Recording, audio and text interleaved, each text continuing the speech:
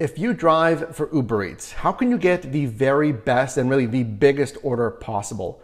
Well, after driving thousands of trips and transactions and really driving on most every major food delivery app out there, I've identified three things that you can do specifically on Uber Eats to get the biggest orders. Welcome to the channel. My name is Mike. On this channel, I help you with the gig economy, your side hustle, your full time hustle creating income and generating multiple revenue streams. So if you are new here, consider subscribing.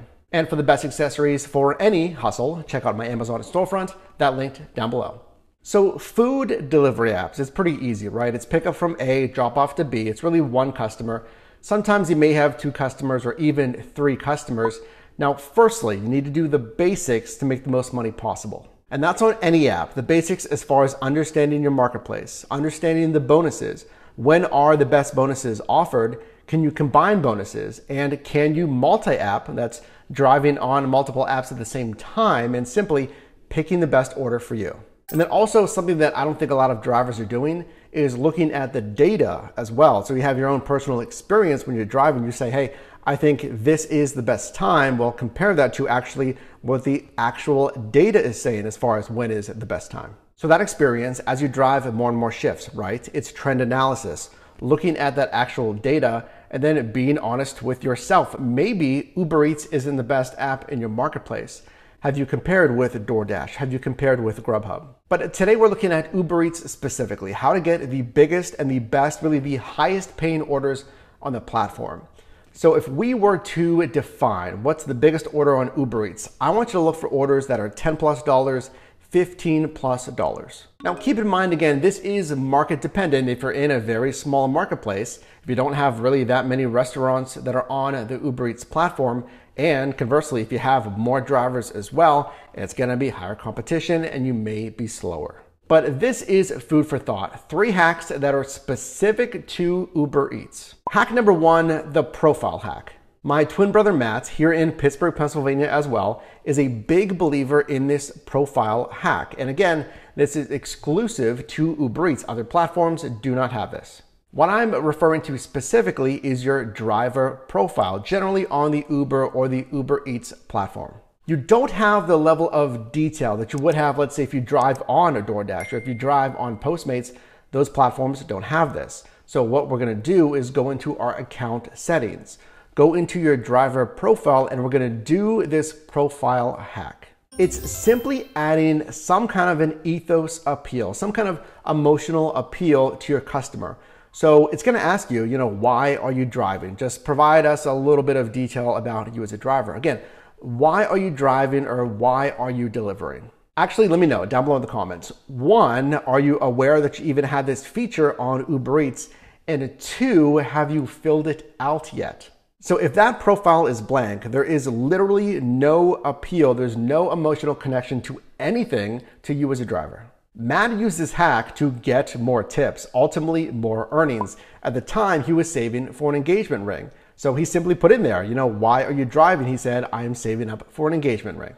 So maybe you also have an engagement coming up. Maybe you have a big purchase, maybe a first time home buyer, or you're just trying to simply support your family put it in there as a profile hack. It's gonna be an emotional appeal to your customer.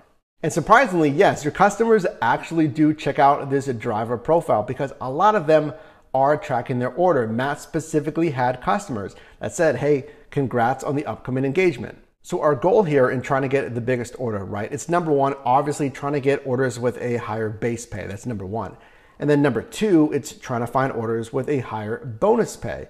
But number three, it's trying to get the biggest tip possible. All of that combined equals your order pay. So don't ignore this. Use the profile hack and try to get more tips. Hack number two that's really unique to Uber Eats. It's really investing in the extra mile for customer service, again, for more tips. Strictly looking at the sales data as far as market share, DoorDash is a clear number one. But the problem on the consumer end and ultimately for you as a driver is those customers are tipping ahead of time. In my opinion, it's not really ideal. It doesn't quite make sense to tip ahead of time before the actual delivery's been made, but compare that to really the opposite on Uber Eats, where those customers are tipping after the delivery. So yes, while DoorDash is number one, you may be pretty busy on the DoorDash platform, When it comes to Uber Eats, your customer service being prepared, having friendly service, listening to delivery instructions, and having the right equipment may be better rewarded with tips on the Uber Eats platform. And then hack number three to get the biggest orders on the Uber Eats platform is to combine promos. And these are promos that, again, aren't found on other platforms. Different than DoorDash, Uber Eats has different pay promos to you as a driver as far as multipliers and surge pay. Now, surge pay, that is a per delivery bonus for picking up in busy zones. Now, you may be thinking, well, DoorDash also has per delivery bonuses. That's a bonus, let's say, an extra $2 for doing a delivery during a certain time. And yes, Uber Eats is similar in that sense, where the surge pay is a per delivery bonus. If it's busy, if you're picking up in that zone, again, you'll get that extra $2 per delivery. But the thing that's different with Uber Eats is they have additional pay bonuses. They actually have multipliers called Boost. And funny enough, it's actually quite similar to the surge pay. It's picking up again in busy areas, but at this time there'll be an earnings multiplier for picking up in that busy zone. Let's say 1.1, 1.4, 1.6 times the pay. But here's the hack with Uber Eats and you as a driver. Unlike, again, DoorDash, these bonuses on Uber Eats can be combined. So you could very well get a 1.3x bonus on Boost Pay.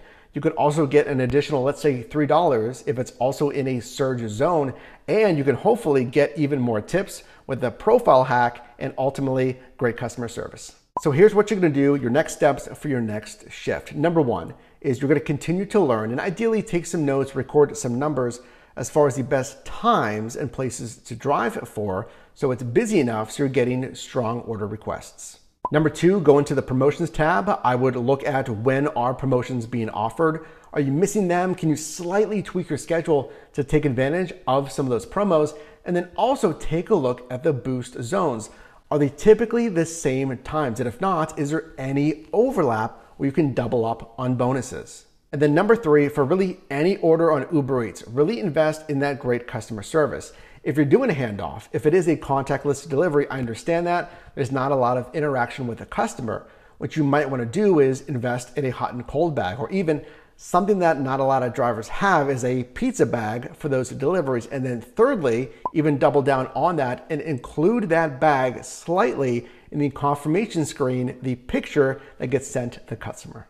These best practices, when actually backed by data and your local expertise in your marketplace, have been proven by drivers, by myself, again, by my brother when driving, have been proven to get you a higher order payout. So if you got value in this video, definitely drop me a like. And you can also click or tap the screen here for my most recent video, as well as a video recommended for you. And I'll see you in the next one.